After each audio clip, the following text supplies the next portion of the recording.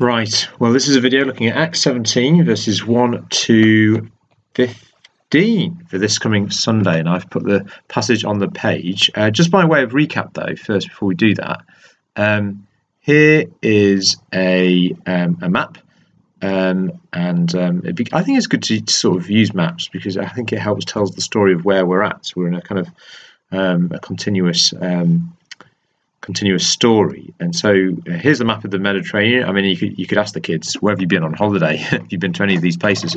And these, of course, the nations, current nations, are on there, which um, are not the nations of the time. But we're going to zoom into this area for this missionary journey that Paul's on, traveling around, telling people about Jesus, because the gospel is for all.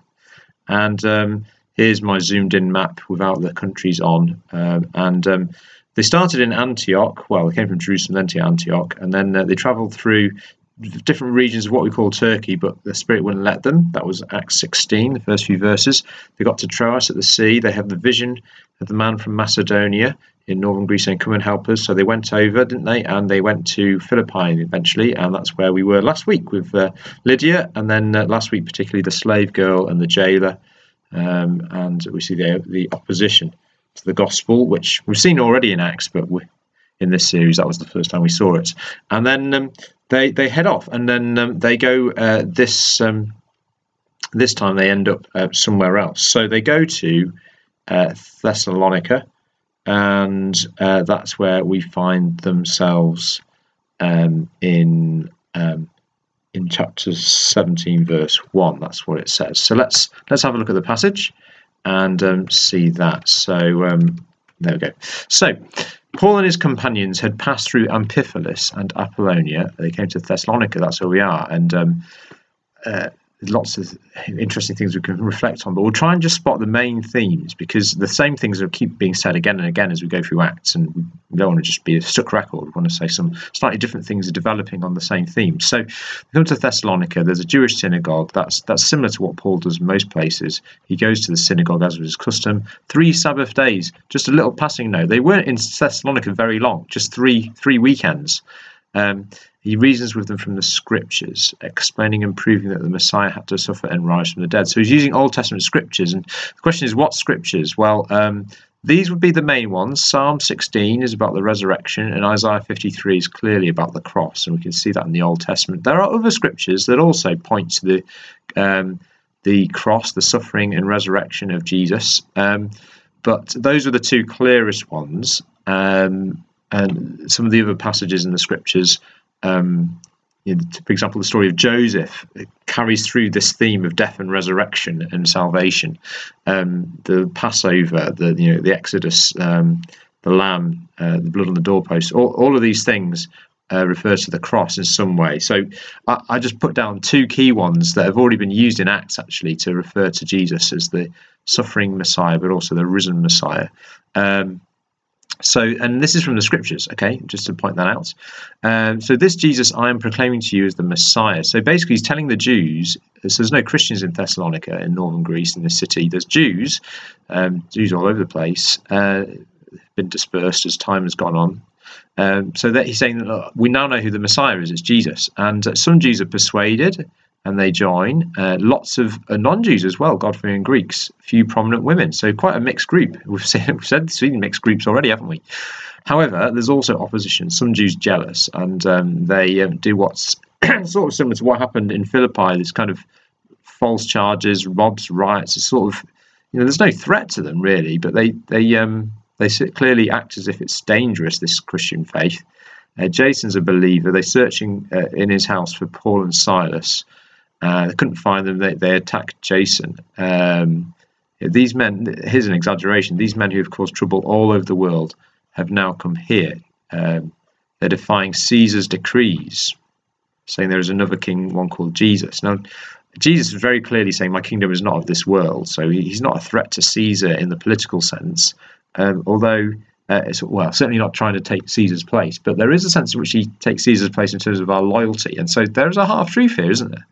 But it's not it's not going to be cause it's not going to upset civilization roman civilization following jesus in fact christians should be model citizens as paul would go else elsewhere anyway side points so um, th- there's turmoil and um, uh, anyway uh, that's that um, And then um, verse 10, they send them away. Paul and Silas are sent away at night time to Berea. So let's let's let's find our map. Um, let's go back to our map. And uh, they go from Thessalonica a bit further around the corner to Berea. There's Berea. Somewhere. Uh, this is rough. Rough. I'm not saying it's GPS accurate. This, but um, roughly accurate. Um, and I would I would draw this. I'd, you get a big map, draw the journey, draw, draw where they're going. That that kind of adds to it in, in, in that way. So they've gone to Berea. What happens in Berea? Let's let's have a look at the passage again. Um, so they arrive in Berea. They do the same thing. They go to a Jewish synagogue, and it says the Berean Jews were of more noble character than those in Thessalonica. Why? Because they received the message with great eagerness and examined the scriptures. Okay, so this is my repeating word thing going on here. I, I mean, I, I really important to spot repeating words if you can. We've had scriptures mentioned in both places here. Um, and they're eager. They do it every day to see if what Paul said was true. Okay, so they're not just taking what Paul's word for it as, as gospel. They're, they're checking that what Paul is saying is what the scriptures are saying, and that's what Paul did in Thessalonica. He explains and proves that Messiah um, rose from the dead. So there's a there's a rational element to this. It's not just a feel a feel good message. It's based on the Bible, the scriptures. This is Old Testament scripture to you and me, the Jews, but it's the scriptures nonetheless. And so as a result, many of them believed. And uh, it's it's do you see the same the same sort of pattern here? I'll just use a different highlighting color. Excuse me while I change my color. We've got we've got a mixed uh, a mixed group um, here. So I'm just going to um, highlight that there um, the same sort of results. Um, and then you've got the same opposition, the Jews in Thessalonica. So there isn't any opposition originating in Berea, but Thessalonica, about 40 miles away, they reckon.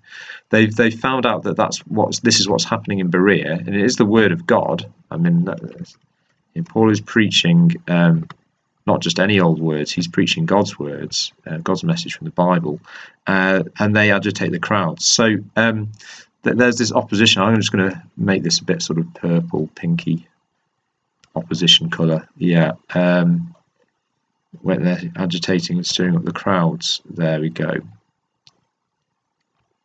Um, so they sent Paul on, um, but put Silas and Timothy, they, for some reason, they were safe. Maybe they weren't um, seen as the most dangerous. They were sort of kept kept there. But Paul was a, sort of the target person. They sent him off, and he he's going. He goes to Athens. We'll find him next week in Athens. We'll get back to our map in Athens, and Silas and Timothy we're going to join him a bit later on. Okay, so I think the main thing I, there's there's some reoccurring things from uh, that come again, again, again in Acts. The, the opposition and the belief, um, many different people believing, and the opposition that highlighted there.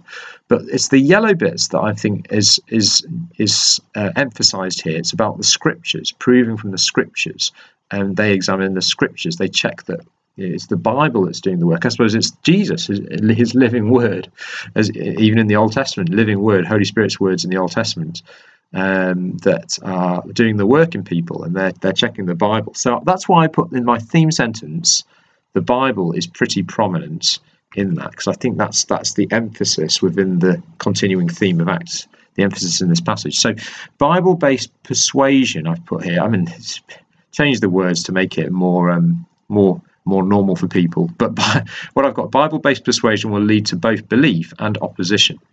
You might want to um, embellish that a bit more to be a bit more sort of focused in on the words of this passage. Um, so um, yeah, but it's simply it is true that there is a um, there there is a result that it's polarizes. The Bible does polarize people, don't it? People love it, people don't like it. Uh, Marmites commit to the Bible's message. This is an aim for belief, even under pressure. Now, what I'm saying is, um, not only is the Bible, I mean, I suppose the, the thing is when we draw lines from um, the passage to us, who are we in the passage? Are we Paul and Silas and Timothy? Paul and his companions, verse 1? Or are we the hearers in Thessalonica and Berea? And I think we need to put ourselves in both places. So we need to be people who want to listen to the Bible. We need to check the Bible. We need to listen to the preacher or the uh, Bible study um, notes and think, hang on a minute, is this really what the Bible is saying? And that's why good um, good good speakers refer to the Bible. They get you looking at what the Bible says. They don't just make it up, and they don't just jump off the Bible into what they want to say. They let the Bible speak, and that's what we what we what we try to do at St John's. That's what we're trying to do this passage right now, and um, that's what we want to do. That's what the Bible. That's what we're told to do. That's what's going on here. So, are we people who are searching the Scriptures? Maybe even every day. There's an application here every day um, to, to, check. Um, you know, we, it'll, it'll, help us if we're Bible people, and we want to do a Bible ministry. So when we do evangelism, just like Paul, we want to use the Bible. Um, so there's the Word one to one as a resource that you can use for that. Just, I mean, um, we could just read a gospel. Just ask a friend, "Have you ever read the Bible?" And lots of people are finding that's very helpful these days. So um, commit to the Bible's message, whether you're um, in both hearing it but also sharing it for belief, uh, even under pressure. And you will expect do expect pressure um, when we get the Bible. Uh, lots of people, I say lots, I don't I wouldn't say lots, but I've met a few people in my few years at St John's who didn't like what the Bible said, and so um, they said, "We don't like your church," and that's to be expected. That's what this passage tells me. But the Bible also works in people to bring joy and salvation, and that has happened um, much, much more, I think, in the, in the time I've been around, and I'm sure many of you have been around a lot longer than me can see the same um, to to those degrees. How do we get this across? Um, recap the journey. I, I, would um, I, I, I, would really encourage the map idea to kind of get the continuity. Um, you, you, can borrow this PowerPoint if you really want to. That's absolutely fine. It's um, no charge, um, and um, or, or, you print out a map, draw on the map where we are, and so do that. Um, I would um, to recap what we've had a diverse group of believers. We're now going to a new place, almost like the idea of we're doing a tour. It's like a like a I wouldn't call it a cruise because it's not all on the, on the ship, but kind of a, a sort of a, a, whirlwind tour of um, this part of the world um, that we're in, um, the Eastern Mediterranean. Um, yeah, sort of get that theme going, perhaps. And yeah, I'd, I'd, I'd, look at the passage. I'd say um, I just you could sum it up, but get them to emphasise the fact that this is the scriptures, the Bible, whatever the translation has it in, has um, get that get that across. You could you could do it in two parts. Um, you've got um, the two two places they go to. This stop is Thessalonica. Uh, they go to another stop in Berea. You could you could say, oh, we've got a photo in this photo this time. It's it's not somebody with purple cloth. It's not somebody who's a jailer. It's not a slave girl who is is free. It's um, it's people just reading the Bible, people reading the scriptures. It'd be a scroll. It'd be a scroll back then, of course. They didn't have a full Bible, but it'd be scrolls, I imagine. Um, maybe get people looking at their scrolls. That'd be the probably the the thing to the the image to go with if you wanted to pin photos onto the map. So this is what we did when this is what we've seen in these places. Application. What is the application? Hmm, let's think about this. Maybe one. Are we um, reading our Bibles daily? Maybe like the Bereans. Um, the uh, checking what we believe against the Bible, and that could be um, checking um, sermon talks, um, our ideas and the world's ideas. Is what we believe really coming from the Bible? Are we just basing it on what we what we what we like? And that's the truth is most people are just going with what they their gut feeling or their intuition or just going with the flow of the culture rather than sticking by the word of God. And that's that's could be something for our church. Um,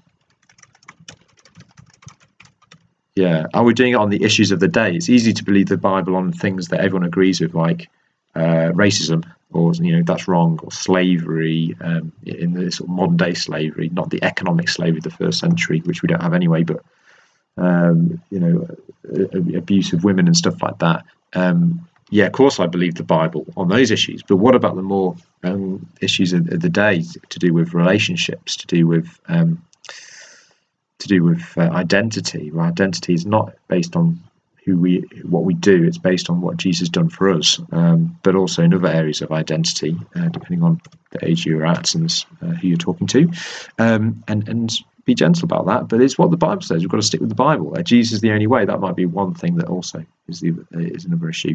Um, are we sh- uh, committed to sharing the Bible? So this might be um, in, evan in evangelism. So it could be asking people to read the Bible. And the thing is, most people have never um, read it, it, as adults.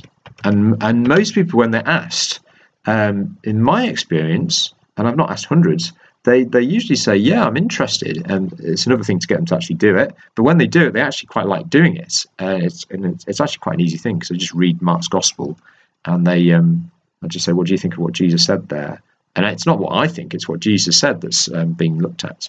So, are we doing that? Asking people to read the Bible, um, encouraging our church to be Bible um, based um, in what we what we proclaim. And so, actually, it is really important to have Bible verses said um, um, not just on Sundays in gr- or groups, but um, but at events. It's really important. Um, And I would say when we do that, expect opposition as well as belief. Um, and uh, Acts is laying that thick on for us, isn't it? There will be opposition. Um, that's what will happen. And Jesus said it would happen. Um, it's what happens. It's what's always happened. Expect opposition as well as belief, um, and that's and um, that's why we do it, isn't it? For belief, that's the wonderful thing. We want people to believe in Jesus, and we can't have belief in salvation, I don't think, without a bit of opposition. So that's what's that's what's going to happen. There's going to be a mixed response, and um, I think that's what this passage is saying. So maybe uh, get the get the try and get those things across. Possibly, what I what I'd be tempted to do if I was doing this with children and young people is I, I would I'd probably model this out. I just kind of let, let's go through what happened. They got they got to Thessalonica, and they um, they Paul proved that Jesus is the person that we need to believe in, and maybe get them to look up these two passages, give them page numbers or whatever. And um, there may be other ones you want to look at as well, but I suggest those two, the main ones, and, um, and the easiest ones, and say, yeah, okay, yeah, we believe Jesus really is for us. He's died on the cross for our sins. Tick. And um, yeah, and um, and then yeah, you could point out the opposition if you wanted to, but you could just stick with um, this belief in examining the scripture as a priority. You could bring some Bible notes um, to help some of the kids and young people think, yeah, you could do this actually. You could use these notes to help read the Bible um, daily and, and to, to, know what to believe in a world that's where we're thrown all kinds of ideas. Right, that's enough from me. I'm going to stop there and uh, let me pray. So, Heavenly Father, we thank you for what you did in Thessalonica and Berea through Paul, through your scriptures that you've given your people, and you still continue to do those things. You have used um, people's faithful proclamation of the Bible to bring people to faith, to bring us to faith. We thank you for that. Uh, we also conscious that there's opposition as well when the Bible is opened. And uh, Lord, we pray that you'd help us to be um, not surprised when that happens, help us to be committed to Scripture ourselves and also in what we do. And Lord, we pray that you would indeed save many, many different people through your word and through our church. Amen.